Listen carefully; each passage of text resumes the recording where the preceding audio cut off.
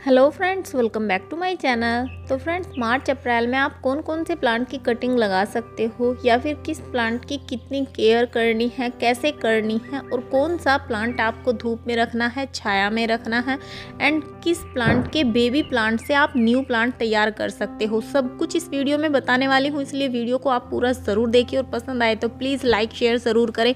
Channel को अगर आपने सब्सक्राइब नहीं किया है तो फ्रेंड्स प्लीज़ सब्सक्राइब कर लीजिए बेलाइकन के साथ। ये फ़र्स्ट प्लांट हमारा आलमंडा है, जिसके येलो कलर के फूल होते हैं, इसको आप पूरा दिन की धूप में रख सकते हो। Mother of thousand mother of thousand एक ऐसा प्लांट है जिसकी एक एक पत्तियों में से उसके न्यू न्यू प्लांट बनते रहते हैं और इसके पास से बेबी प्लांट बहुत सारे उगते रहते हैं क्योंकि इसकी पत्तियों में से इसके प्लांट तैयार होते हैं। इसमें आपको पानी कम डालना होता है, बहुत सुंदर ये प्लांट लगता है देखने में और देखभाल की भी इसमें कम ही ज़रूरत पड़ती है। सर्दियों में भी आपके पास रहता है, गर्मियों में भी आपके पास रहता है पे परमानेंट प्लांट है। छोटे पोट में, बड़े पोट में, जैसे मर्ज़ी पोट में आप इसको अपने अकॉर्डिंग लगा सकते हो क्योंकि इस प्लांट को ज़्यादा ज़रूरत नहीं पड़ती है। इसकी पत्ती अगर कहीं पर भी गिर जाती है, वहीं पर इसका न्यू प्लांट खुद से ही तैयार हो जाता है। आप इसे धूप में भी रख सकते हो, छाया में भी रख सकते हो, एक से दो घंटे की धूप मिले ऐसी जगह पर भी रख सकते हो, परमानेंट प्लांट है। पानी इसलिए कम डालना है क्योंकि पत्तियाँ काफ़ी मोटी होती हैं, उनमें पहले से भी पानी रहता है। नेक्स्ट प्लांट है हमारा बोस्टर्न फर्न। बोस्टर्न फर्न भी ऐसा प्लांट है कि एक प्लांट आप कहीं से ले आओगे तो ढेरों प्लांट खुद तैयार कर सकते हो। इसके बाद से बहुत सारे बेबी प्लांट निकलते हैं जिन्हें आप अभी अलग कर करके न्यू प्लांट तैयार कर सकते हो क्योंकि मौसम बहुत ही बढ़िया है, बरसात का मौसम है। ऐसे मौसम में प्लांट जल्दी से ख़राब नहीं होते हैं, बहुत अच्छी प्लांट को नाइट्रोजन की भी मात्रा मिलती रहती है। वेस्टर्न फंड को आप हैंगिंग पोट में भी लगा सकते हो, नॉर्मल पोट में भी रख सकते हो और धूप में भी आप इसको रख सकते हो छाया में भी। बस पूरा दिन की धूप में ना रखिए, पत्तियाँ ब्राउन होने लग जाती हैं। वैरायटी भी इसकी आपको बहुत सारी मिल जाती है नर्सरी में, काफ़ी डिफरेंट डिफरेंट वेराइटी में मिलते हैं। नेक्स्ट है हमारा मैक्सिकन पिटोनिया। मैक्सिकन पिटोनिया की भी कई सारी वेराइटी होती है, इसमें वाइट कलर होते हैं येलो होते हैं पर्पल होते हैं और एक भी प्लांट आपको कहीं से मिल गया तो उसी से आप सैकड़ों प्लांट तैयार कर सकते हो। इसका बीज कहीं पर भी गिरता रहता है, वहीं पर इसके न्यू प्लांट तैयार होते रहते हैं। आप इसे कटिंग से तैयार कर सकते हो, बीजों से तैयार कर सकते हो। फूलों के लिए बेस्ट प्लांट है, बहुत अच्छी फ्लावरिंग करता है, लेकिन अच्छे से अगर आप केयर करोगे तो। और सबसे बढ़िया क्या बात है, इस प्लांट की कि आप इसको धूप में भी रख सकते हो, छाया में भी रख सकते हो और जल्दी से ख़राब नहीं होता है। इसके जो छोटे छोटे प्लांट होते हैं, इन्हें आप निकाल कर अपने न्यू प्लांट कितने भी घर पर तैयार कर सकते हो। मैक्सिमम इसके लिए आप सात से आठ इंच का पोट रख सकते हो। नॉर्मल मिट्टी रखिए, ज़्यादा ऐसा नहीं है कि आपको ऐसी मिट्टी तैयार करनी है। नेक्स्ट है हमारा रियो प्लांट रियो प्लांट देखने में जितने सुंदर लगते हैं, उतने ही ये हार्डी प्लांट होते हैं. एक प्लांट कहीं से ले आओ, सालों साल आपके पास रहेंगे और ना तो जल्दी से ख़राब होते हैं केयर कम चाहिए होती है. बस आप इनमें 15 से 20 दिन में खाद डालते रहिए लिक्विड बनाकर या वर्मी कंपोस्ट की या फिर गोबर की खाद की. तो इसके पास से जो न्यू प्लांट निकलते हैं, इन्हें आप अलग अलग करके लगाओगे तो आपके पास बहुत सारे प्लांट तैयार हो जाएँगे और इसकी भी वैरायटी डिफरेंट डिफरेंट मिलती हैं। बड़ी पत्तियाँ वाला भी रियो होता है और छोटी छोटी पत्तियों वाले भी रियो मिलते हैं। आप इसे भी प्लास्टिक बोतल में वेस्ट मटेरियल जैसे किचन के डब्बे होते हैं या फिर चार से पाँच इंच के पोट में, आठ इंच के पोट में किसी भी तरीके से डेकोरेट प्लांट को कर सकते हो। बालकनी गार्डन के लिए ये प्लांट बेस्ट रहता है। नेक्स्ट है हमारा स्पाइडर प्लांट स्पाइडर प्लांट जो होता है, इसके पास से देखिए इस तरीके से रनर निकलते रहते हैं। तो ये रनर इसके बेबी प्लांट होते हैं। इन्हीं से आप निकाल कर इसके न्यू प्लांट तैयार कर सकते हो, क्योंकि इन्हीं के पास जड़ें होती हैं। एक प्लांट से बहुत सारे प्लांट तैयार हो जाते हैं। इनको सिर्फ़ मिट्टी चाहिए होती है और मिट्टी मिलते ही ये अपनी न्यू ग्रोथ तैयार कर लेते हैं। ये पानी में भी बहुत अच्छे से ग्रोथ करते हैं। इसी रनर को अगर हम कट करके पानी में रख देंगे तो इसका न्यू प्लांट भी तैयार हो जाएगा। इसको हम छाया में भी रख सकते हैं। हैं और दो से तीन घंटे की धूप मिले, ऐसी जगह पर भी आप इसको रख सकते हो। हैंगिंग पोट में लगाइए। हैंगिंग पोट में लगा हुआ बहुत सुंदर लगता है। अगर हम अच्छे से केयर करते हैं तो इनकी पत्तियाँ काफ़ी बड़ी बड़ी भी हो जाती हैं, जो कि बहुत सुंदर लगती हैं देखने में। नेक्स्ट है फ्रेंड्स हमारा अगेव प्लांट अगेव प्लांट काफ़ी हार्डी प्लांट होता है परमानेंट प्लांट होता है, ना ख़राब होता है, ना सर्दी में, ना गर्मी में, कभी ख़राब नहीं होता। छाया में भी आप इसको रख सकते हो और धूप में भी। इसमें आपको ऐसा भी नहीं है कि पंद्रह दिन में आपको ज़रूर इसमें खाद खाद डालनी ही डालनी है।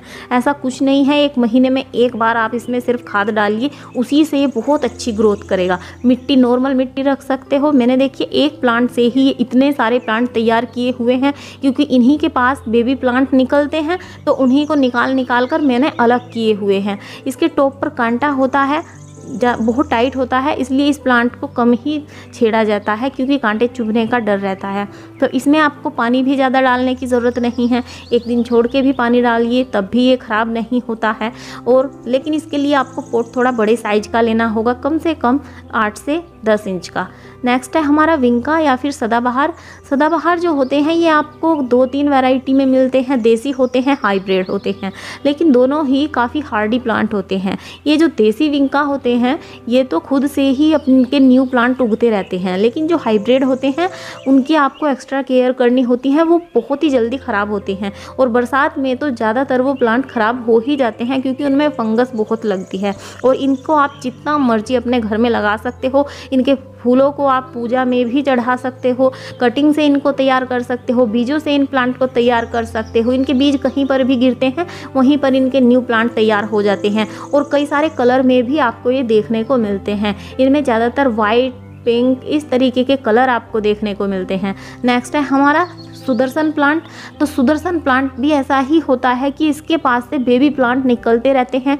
आप एक प्लांट से ही इसके कई सारे प्लांट तैयार कर सकते हो। इनकी बड़ी बड़ी पत्तियाँ जो होती हैं, ये देखने में काफ़ी सुंदर लगती हैं अट्रैक्टिव लगती हैं और सुदर्शन प्लांट को सुप प्लांट भी माना जाता है। इसको भी आप आठ से दस इंच के पॉट में लगाइए तो इसकी ग्रोथ बहुत अच्छी होती है। आप इसे धूप में भी रख सकते हो, छाया में भी रख सकते हो और बीस दिन में एक बार आपको इसमें खाद ज़रूर डालनी होगी ताकि इसकी पत्तियाँ जो हैं इनका साइज़ बड़ा हो सके और बीच में से ना टूटे, क्योंकि ये पत्तियाँ जो होती हैं, इसकी जल्दी से येल्लो पड़ जाती है और फिर टूटने लग जाती हैं अगर हम इसकी केयर ना करें। तो आपको इसमें पंद्रह से बीस दिन में एक बार ज़रूर से खाद डालनी होगी। नेक्स्ट है हमारा पत्थर चट्टा। पत्थर चट्टा बहुत सारे कामों में इस्तेमाल किया जाता है। बीमारियों में जैसे को पथरी होती है, काढ़ा बनाकर पिया जाता है, या फिर इस तरीके से ये एक मेडिसिनल हब प्लांट होता है। तो इस प्लांट को आप घर में ज़रूर लगाइए। और सबसे अच्छी बात है कि इसके एक पत्ती पत्ती अगर कहीं गिर जाएगी तो इसकी पत्तियों में से भी न्यू न्यू प्लांट इसके उगते रहते हैं। एक प्लांट से ही आप इसके बहुत सारे प्लांट तैयार कर सकते हो। इसके पास से बेबी प्लांट भी निकलते रहते हैं और इसकी पत्तियों में से भी न्यू प्लांट निकलते रहते हैं। सो, आप इस प्लांट को धूप में भी रख सकते हो, छाया में भी रख सकते हो। परमानेंट प्लांट होता है, पानी बस आपको इसमें कम डालना है। सो फ्रेंड्स नेक्स्ट प्लांट है हमारा विंड्रिंग ज्यू विंड्रिंग ज्यू प्लांट एक बहुत ही खूबसूरत प्लांट है और काफ़ी हार्डी प्लांट होता है। इस प्लांट को एक बार कहीं से अगर ले आए तो सालों साल आपके पास रहेगा, जल्दी से ख़राब नहीं होता है।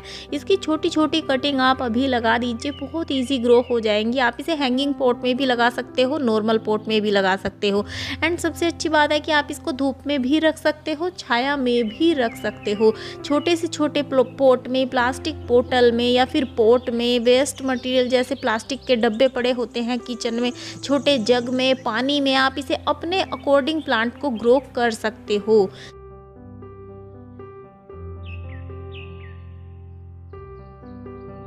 सो फ्रेंड्स नेक्स्ट प्लांट है हमारा कोलियस कोलियस अपने कलरफुल लीव्स की वजह से ही पसंद किया जाता है और इनकी बहुत सारी वैरायटी होती है. डिफरेंट डिफरेंट पत्तियों में आपको कोलियस मिलते हैं.